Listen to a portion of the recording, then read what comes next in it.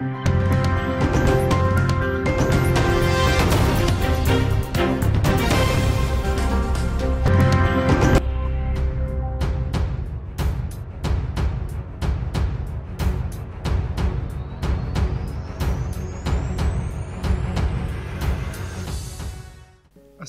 عليكم ورحمة الله.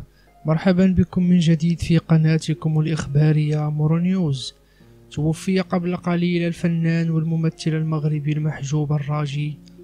وافته المنية بمستشفى الشيخ زايد بالرباط بعد صراع طويل مع المرض.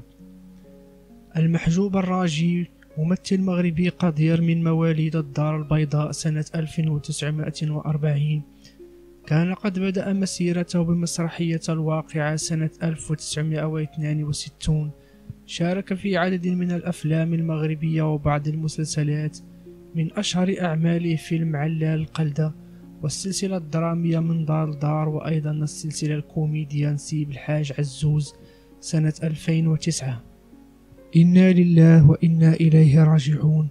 اللهم تغمده برحمتك واسكنه فسيح جناتك. تعازينا الحارة لعائلته وأصدقائه. شكرا لكم على المشاهدة. لا تنسوا الإعجاب بالفيديو والاشتراك في القناة وتفعيل زر الجرس ليصلكم الجديد. دمتم بخير وإلى اللقاء.